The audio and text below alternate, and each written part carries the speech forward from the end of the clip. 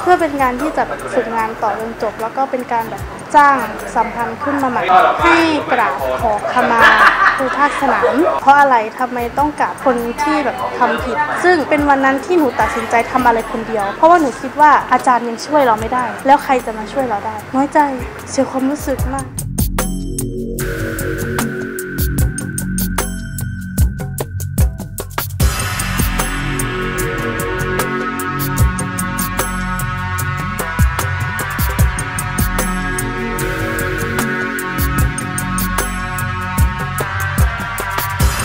นูไม่ได้เป็นคนยื่นค่ะป่าเป็นนิสิตกลุ่มหนึ่งที่เขาเห็นข่าวแล้วเขาไม่พอใจในการการกระทำของอาจารย์สาขา เป็นนิสิตคณะอื่นนะคะ แต่ไม่ทราบว่านิสิตคณะไหน ซึ่ง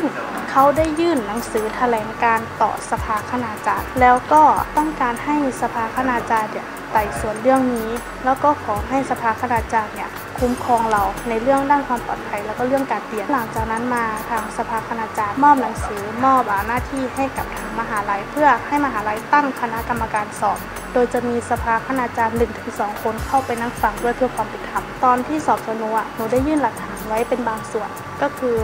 คุยไลน์กับอาจารย์ที่ปรึกษา แต่มันจะมีตรงประเด็นเด็ดตรงที่ยื่นใหม่ก็คือเป็นแชทกับอาจารย์หัวหน้าภาค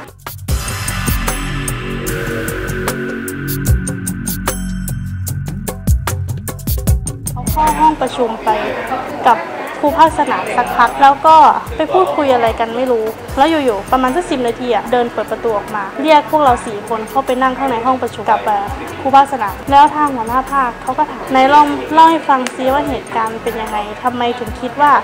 ที่สิ่งที่ไปทำเนี่ยเป็นการปลอมแปลงเอกสารทางราชการ ก็คือพวกหนูก็นั่งสี่คนไม่พูดไม่จาเงียบก็คิดกันแล้วว่าทำไมต้องไปเล่าให้ฟัง เพราะว่าคนที่นั่งอยู่เป็นคนสั่งให้เราทำเพื่อนก็เลยพูดว่าก็ให้ไปเขียนเอกสารอะไรอย่างเงี้ยเพื่อพอพอเพื่อนพูดประมาณเนี้ยครูภาคสนามก็ใช้ให้เพื่อนไปเอาเอกสารมาเอกสารที่พวกหนูทำนั่นแหละ แต่ว่ามันเป็นเอกสารว่างเปล่ายังไม่ได้กรอกอะไรเขาก็แบบเอาให้ดู อาจารย์ก็นั่งอย่างเงี้ยแหละแล้วเขาก็มันจะว่าเอาให้ดูแค่นี้ แล้วก็ชี้ลงมาให้กรอกตามบัตรประชาชนเฉยๆตามสำเนาบัตรเฉยๆแค่นั้นไม่มีอะไรมันเป็นการเข้าใจผิดกัน แล้วก็รีบให้เพื่อนหนูเนี่ยเอาไอ้ใบไอ้แผ่นเนี้ยไปเก็บ ซึ่งตอนนั้นหนูก็สังเกตแล้วมันก็มีพิรุธแล้วว่าทำไมถึงไม่ให้อาจารย์เขาดูว่ามันมีคำถามอะไรบ้าง ที่มันต้องไปสัมภาษณ์คนจริงๆอะถึงจะตอบได้แต่ทางหัวหน้าภาคเขาก็สรุปขึ้นมาว่ามันเป็นการเข้าใจผิดแล้วก็ทำอะไรเนี่ยทำไมไม่ปรึกษาครูภาคสนามทำไมต้องไปปรึกษาเจ้าหน้าที่คนอื่นทำแบบนี้เหมือนมันกับแบบเสียเครดิต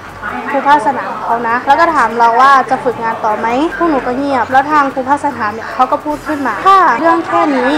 ทำให้ย้ายการฝึกงาน เท่ากับว่าไม่โต อาจารย์ทั้งสองท่านในที่ประชุมก็บอกให้ไปแจ้งความ แล้วก็บอกให้ย้ายสถานที่ฝึกงานใหม่ทำไมไม่ทำตามที่อาจารย์ทั้งสองท่านแนะนำคือเราก็คิดไปเรื่อยๆ แล้วแบบน้ำตาเริ่มจากนั้นก็คือน้ำตาคอ ตัดสินใจบอกเพื่อนว่ามีหนังสือจากปปท แล้วก็ปปช มาหาหนู แต่มันก็ว่าเพื่อนแอบเอาไปบอกอาจารย์ อาจารย์เลยทราบ พออาจารย์ทราบเสร็จ อาจารย์ก็นัดเลย อาจารย์ก็ถามว่าทำไม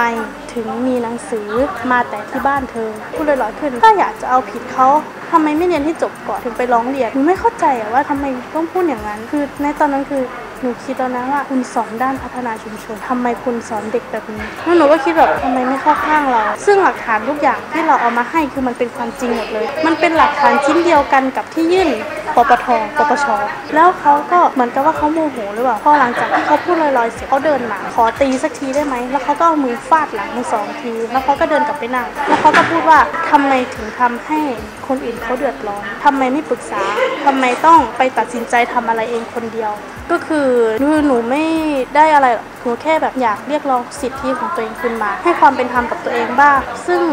หนูคิดว่าเรื่องนี้หนูโดนละเมิดสิทธิ์หลายอย่าง นอกเหนือจากการให้การแล้วก็จะมีการตีหลัง นอกเหนือจากการตีหลังก็มีการบันทึกเสียงในการสอบสวนหนู ตอนที่มีหนังสือจากปปทมาให้มหาวิทยาลัยตั้งคณะกรรมการสอบทั้งๆที่